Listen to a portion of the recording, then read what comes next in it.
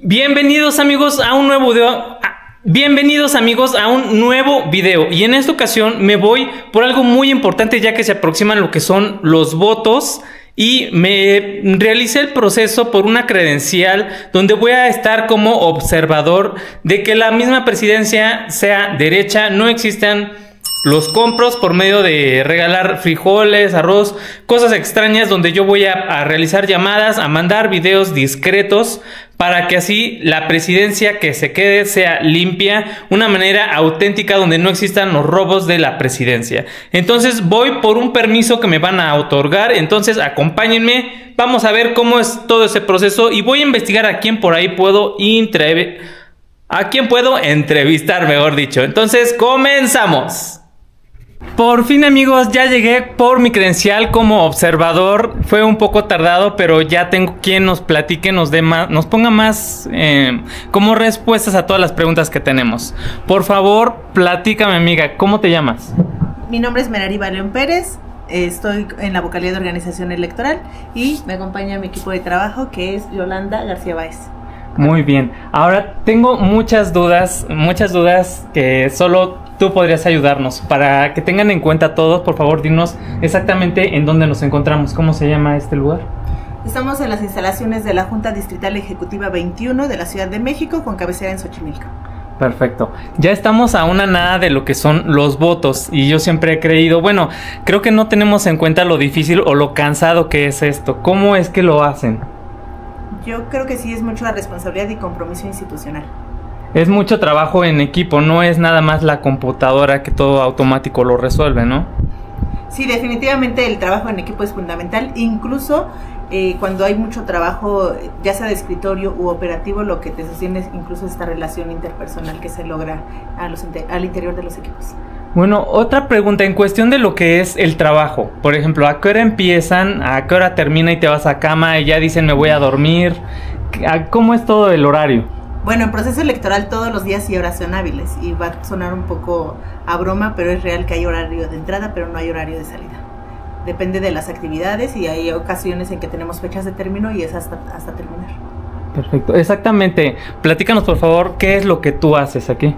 En la vocalía de organización llevamos prácticamente todas las actividades de asistencia electoral. Vamos de la mano con una vocalía que se llama capacitación electoral y educación cívica. Y entonces, en el marco del proceso electoral, tenemos las figuras que van a campo, que son los capacitadores asistentes electorales y los supervisores electorales. Ellos se encargan, diría yo, es el ejército del Instituto Nacional Electoral porque buscan, localizan a los ciudadanos que son posibles funcionarios de mesa directiva de casilla, les hacen en una primera etapa esta notificación de esta posibilidad para integrar mesas directivas de casilla y ya a través de la segunda insaculación entregan nombramientos, capacitan y sobre todo en el caso de la vocalidad de organización entregamos todo el material que van a ocupar en la jornada electoral. Perfecto.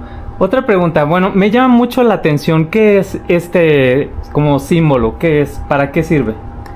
Bueno, eh, la verdad es que es un como una una lupa que hicimos en la vocalía para promover la figura de la observación electoral, que es a la que tú te registraste y hoy tienes tu acreditación. Perfecto, ahora por favor platícanos. Eh, me registré y qué es lo que vamos a hacer nosotros para que tengan en cuenta todos la seguridad de lo que va a estar haciendo aquí, ¿no? Muy bien. Sí, durante el proceso electoral la mayoría de la ciudadanía eh, conoce figuras como son candidaturas, también conoce a nuestros capacitadores asistentes electorales, que son los de chaleco rosa que andan en campo, conocen a los funcionarios de mesa directiva de casilla, pero piensan que a veces es la única forma de participación. Y la verdad es que esta figura de observación electoral es una posibilidad más de que la ciudadanía que no quiere ser candidato, que no milita para algún partido, que no, no pudo ser funcionario de casilla o que no es capacitador asistente electoral, participe observando como la palabra lo dice, verificando todo lo que hacen tanto autoridades como actores políticos. Entonces, es una forma de participación, diría yo, demasiado amplia porque les permite observar todas las etapas y sobre todo verificar que las autoridades cumplamos con lo que la ley mandata y también los actores políticos pues se, se ciñan a lo que manda la legislación electoral. Perfecto. A ver, amiga, ahora sí, ahora contigo. Platícanos, por favor, repítenos, ¿cómo te llamas? Yolanda García. Perfecto, Yola. Platícanos, ¿qué es lo que haces en este lugar? Pues yo soy técnico en organización Y bueno, sí, yo llevo lo que era este sistema, porque Sí. no era, porque ya se cerró, el 7 de mayo se cerró. Y pues está muy padre porque eh, la, la invitación se hizo a todas las personas con discapacidad, diferente Sí. discapacidad. Y tuvimos un evento muy padre en el cual trajimos a personas con discapacidad visual, a personas Ah, que hablaban eh, lengua de señas mexicanas. Se les hizo un, un video a estas personas eh, con la traducción y también a personas, bueno, en este caso de Milpalta, que hablan la lengua náhuatl. Oye, qué padre. Sí, y logramos, logramos tener una persona igual acreditada con discapacidad visual. Sí. Órale, qué importante. Sí, sí, porque de hecho pues dicen que eh, prácticamente ese, ese tipo de personas las pasamos por desapercibido y ellos también quieren enterarse, quieren saber. Fue un proyecto muy grande en el que la licenciada eh, pues tuvimos. Eh, de verdad yo no creía que, que lo iba a lograr el hecho de, a mí se me hacía muy difícil. Eh, yo decía, ¿cómo es que voy a invitar a personas con discapacidad visual o debilidad visual a ser observadores?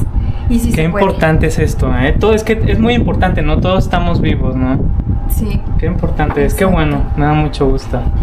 Y sí, pues hablando precisamente de eso, esta es la plantilla braille de la convocatoria que se les hizo para que se inscribieran, que se registraran. Tal cual viene escrito, le llaman la- estas personas en negro, Sí. viene en braille. Perfecto, está increíble. Vamos a tocarlo un poco.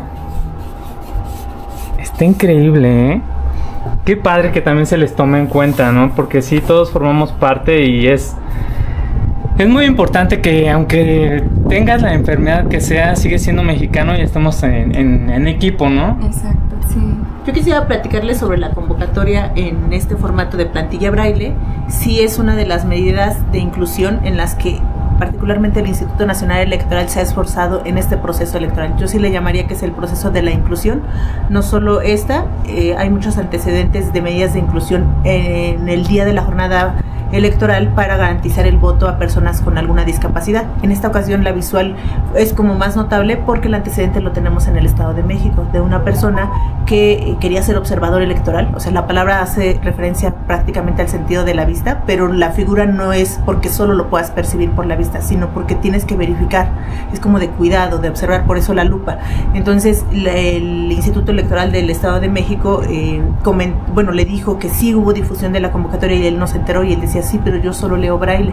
Entonces, las convocatorias no fueron difundidas en braille, no había manera de que esta persona se eh, tuviera conocimiento y entonces en ese proceso electoral le dicen al instituto que debe de garantizar que las personas con discapacidad visual eh, tengan conocimiento de la convocatoria y por eso en esta ocasión se emite en braille. Hay una meta, hay un propósito del instituto porque si bien eh, no sancionaron, pero sí la sentencia vinculaba al OPLE, en esa sentencia se le dijo al Instituto Nacional Electoral que somos los encargados de cómo fijar las bases de la observación en tu próximo proceso electoral garantiza esta difusión. Entonces el INE como siempre va más allá de lo que te diga una sentencia. Este proceso no solo es para discapacidad visual, también para las personas con lengua de señas, también para las Qué personas. Este, de otra lengua, es, eh, en este caso lengua náhuatl, que se, hay cápsulas en lengua de señas, hay cápsulas en lengua náhuatl de, de regiones distintas de eh, centro, huasteca. O sea, Órale. sí tuvimos que hacer una amplia difusión y esto es a la par de todo lo que implica de por sí ya las etapas del proceso electoral. Estamos muy contentos porque en el distrito sí logramos que una persona que invitamos al evento, que le compartimos la convocatoria, se registrara. Y entonces la verdad es que a veces la limitación la tenemos nosotros, ellos no. Ellos dicen gracias por incluirnos. Aquí este, Yolanda se fue de verdad al parque este, a buscar a personas que supieran específicamente leer braille. Es muy fácil decir, ay, les mando tantas convocatorias, repártanlas. Y puedes decirle, ay, la persona no ve, te doy una convocatoria. El tema es que debe ser personas que sepan leer este sistema braille y afortunadamente esta persona está muy entusiasta. Ellos pueden, a través de otros sentidos, eh, observar, verificar estos actos que llevamos a cabo. Entonces, como esas hay otras medidas, eh, en, las, en las casillas estamos garantizando el libre acceso a las personas con discapacidad motriz. A ver, por favor, platícame. ¿Qué estamos haciendo aquí? ¿Para qué es? Nosotros ahorita estamos en el área del CIGE y eh, tenemos a los compañeros capturistas, personas que fueron contratados específicamente para eh, la recepción de información durante la jornada electoral. En este caso, en la mañana hubo prueba de conteo rápido y ahorita es solamente prueba del CIGE. Entonces ellos esperan la llamada de algunos compañeros que están en campo para reportar la, la hora en que se instalaron las casillas, la forma en que se integra la mesa directiva de casilla y la presencia de representantes de partido político, candidaturas independientes o u observadores electorales. Entonces ellos están a la espera de recibir una llamada. ¿Por qué? Porque en este proceso electoral el Instituto Nacional Electoral dotó de un móvil a los capacitadores y entonces tienen inyectadas aplicaciones para reportar a través de la app móvil, ya sea SIGE o conteo rápido. Si la app móvil este, no funcionara, tenemos este segunda instancia que es la llamada a las instalaciones de la Junta Distrital Ejecutiva. Y es por eso que contratamos a este personal que está capacitado incluso en el protocolo de voz en la mañana para esto fueron previamente capacitados tanto capacitadores asistentes electorales como nuestro personal. Súper. Esa, es su función. A ver si tenemos la suerte de que llegue una llamada el día de hoy. Estaría increíble, ¿no? Vamos a hacer un corto. De todas maneras, tenemos otro, otro ejemplo para dejarlo aquí. Pero está increíble. Ellos son de los que igual no tienen como seguro una hora para irse, ¿verdad? Ah, sí. Es todo el equipo. En realidad, todos forman parte del equipo de la vocalidad de organización electoral. Entonces, pues sí, no, este, no tenemos horario cuando hay, eh, sobre todo en esta semana, que hay muchas pruebas, que tenemos esta actividad de entrega de paquetes de a funcionarios de mesa directiva de casilla, no hay una hora de salida a Dependemos mucho de la programación de la ciudadanía para recibirlos. Ok, otra pregunta, amiga. Fíjate, una vez que se terminen los votos. Una llamada. Perfecto, vamos a ver. Vamos a ver, sí. Sí, qué buena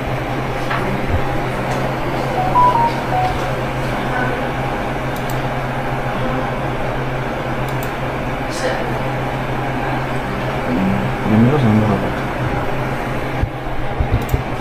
¿Ahora?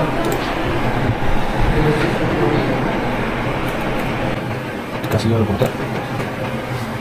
¿No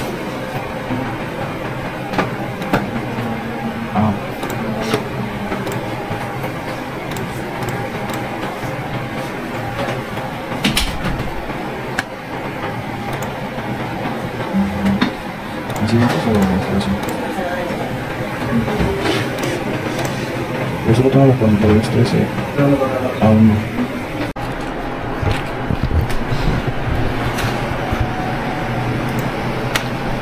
Funcionarios de casilla se tomaron de la fila. Presencia de representantes de partidos políticos y mejores. Juan. Bien.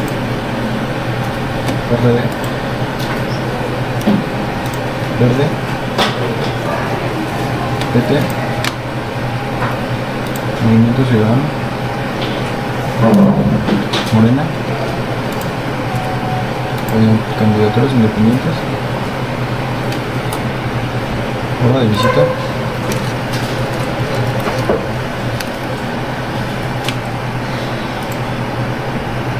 Aquí vas a reportar otra.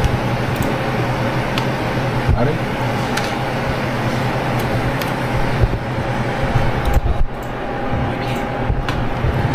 instalación.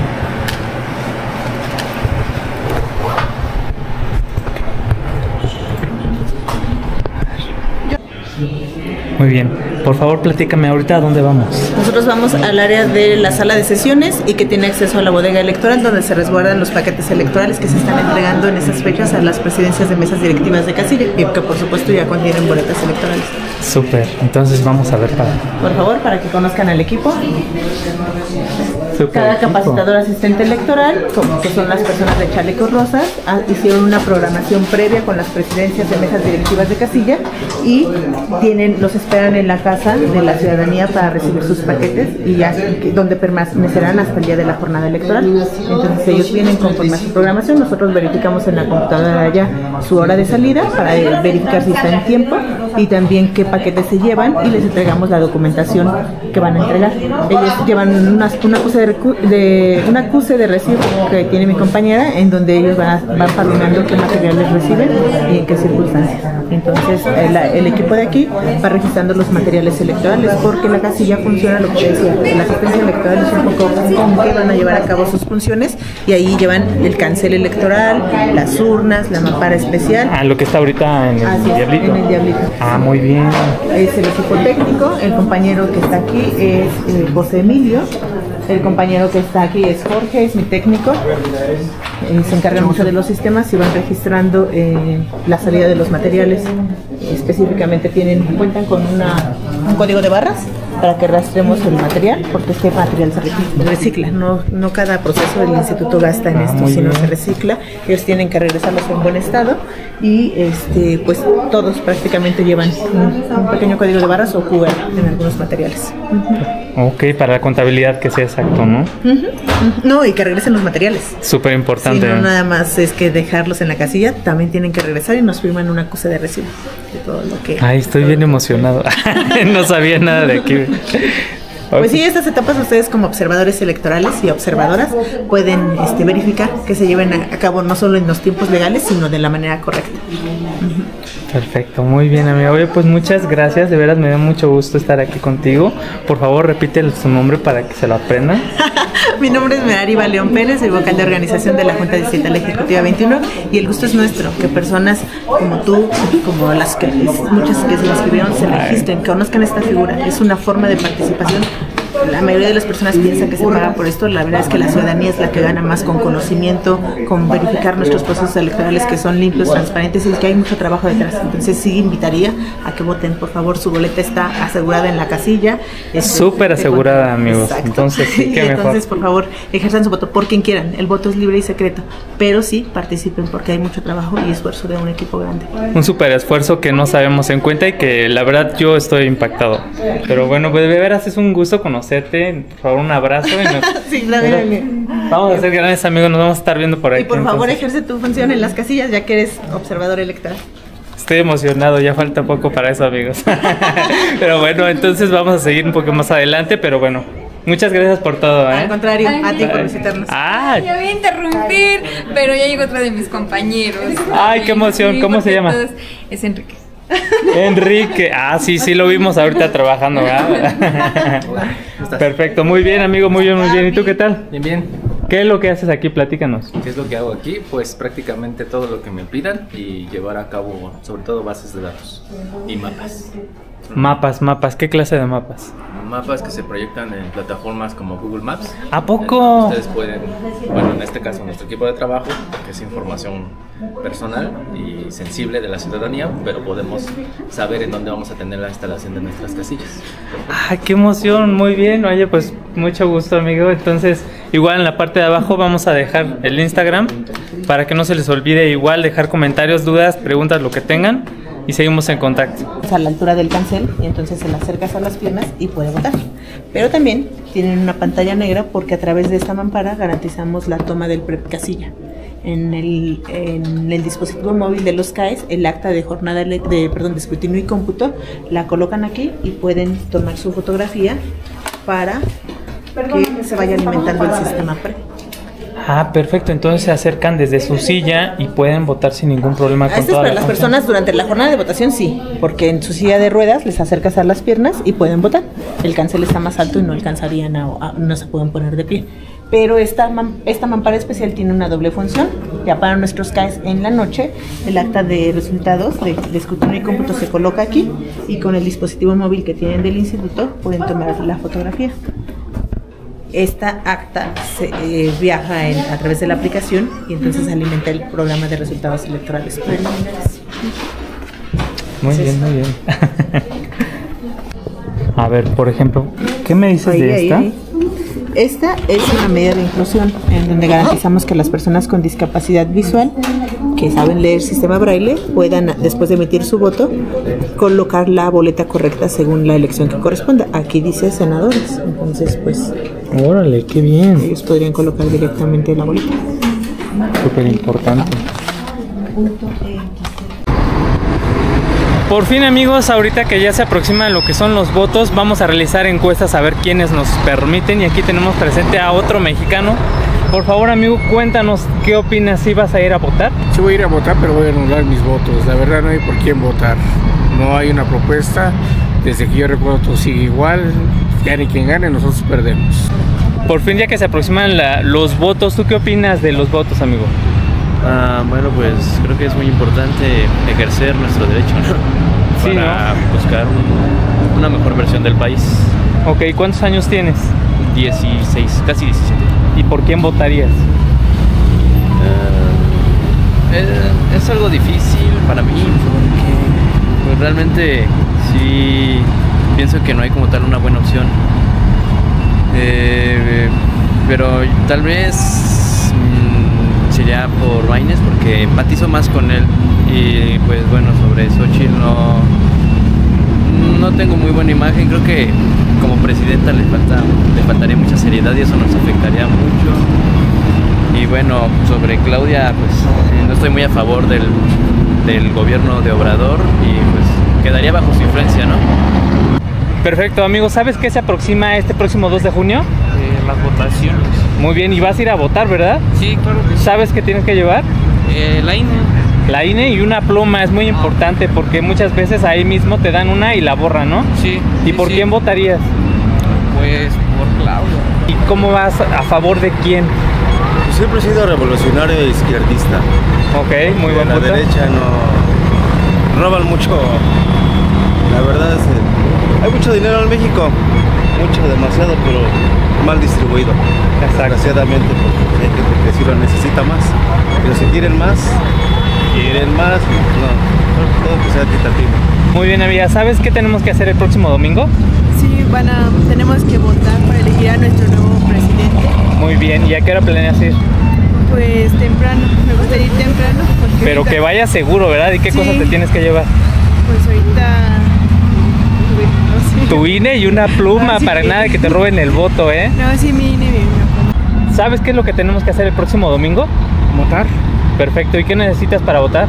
Eh, el INE. Muy bien, el INE y una pluma, nada de robos, ¿eh?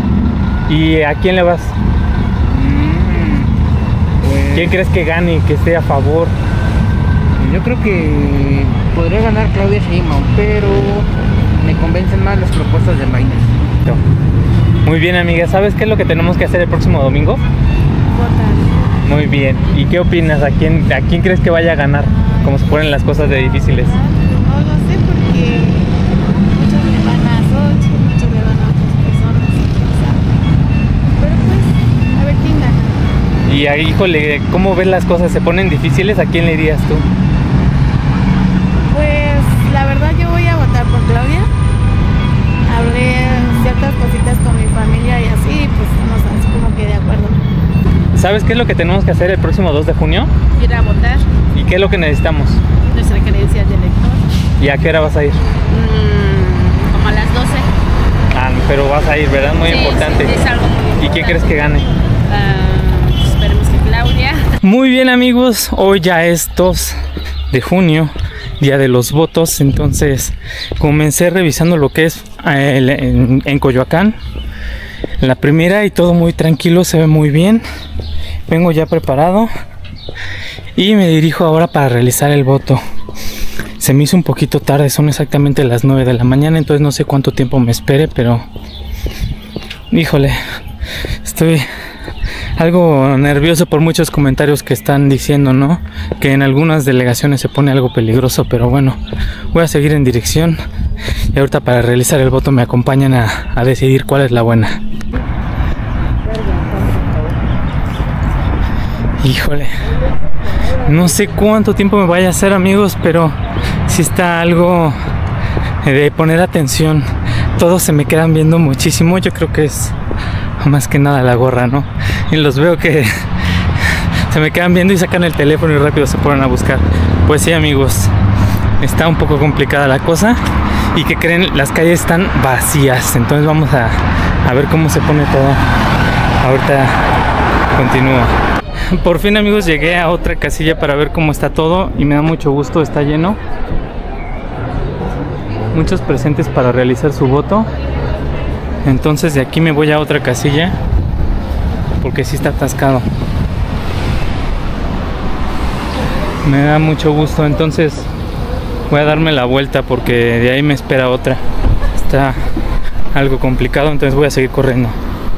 Muy bien amigos, ahorita ya estoy por, eh, por votar, me faltan unos 30 minutos aproximadamente. Sí. Quién sabe, está avanzando rápido, pero aquí tenemos para realizar una entrevista a una amiga que es de España. Ahora mexicana, ¿verdad? Platícanos, ¿cómo te llamas? María de los Ángeles, de la casa. Soy mexicana y española. Mexicana por nacimiento española por mi familia, por mis papás. Ah, perfecto, muy bien. Tengo ¿Y qué opinas ahorita que está en esto de los votos? Pues opino que bueno, que bueno que la gente despertó y estamos votando. Me incluyo, las elecciones pasadas no voté, me fui antes y me arrepiento. Y entonces, bueno, qué bueno que la gente esté despertando y esté votando. Sí, no es muy importante ahorita ir a votar. ¿Y tú qué opinas? ¿Por quién vas a votar? Yo voy a votar por Sochi, desde luego.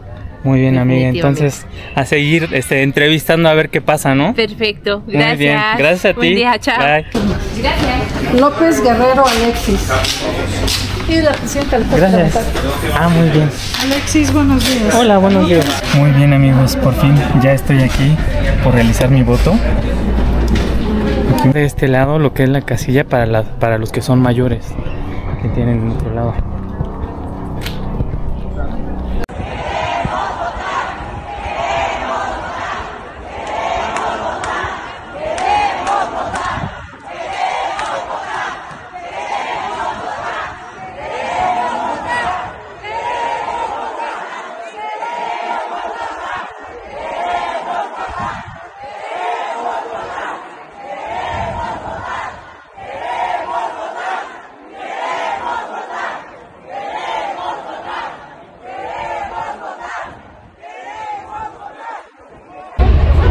Por fin amigos, aquí me encuentro, yo ya voté, pero ahorita estoy viendo cómo están las filas y está increíble.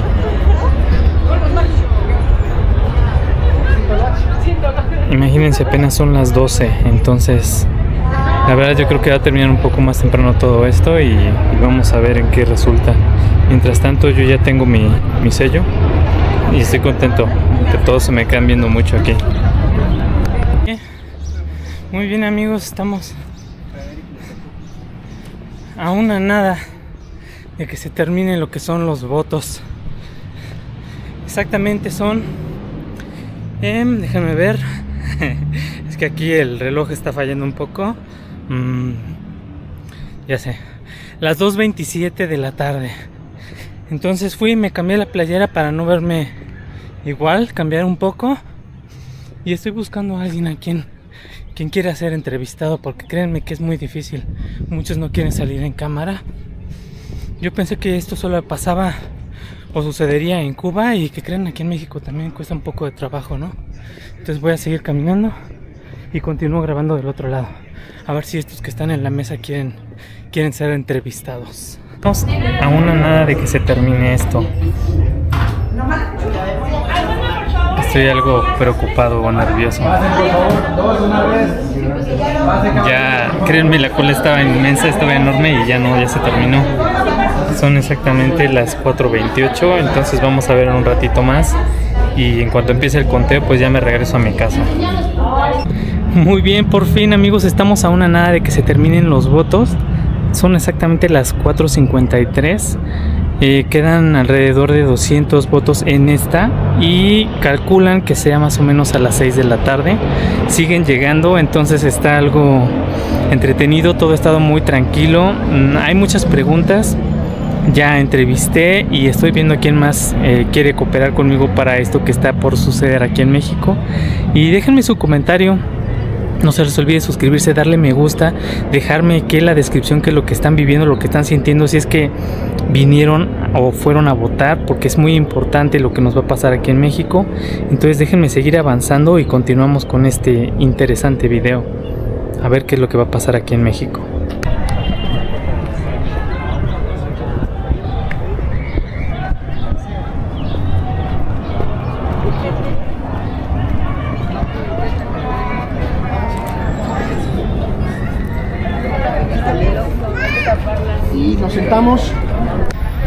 Muy bien amigos, pues aquí ya se cerró la puerta, ya nada más falta esperar a que terminen unos votos que ya están formados y a ver qué es lo que pasa. Creo que hoy no podré dormir, me pondré a editar el video, son exactamente las 6 de la tarde y pues a ver qué es lo que pasa. Entonces yo creo que esto sería el final del video amigos, les mando un fuerte abrazo, no se les olvide suscribirse, darle me gusta y compartir el video, dejarme su opinión de esto que yo viví y de esto que estamos por vivir en el futuro de México. Entonces les mando un fuerte abrazo y nos vemos en el siguiente video.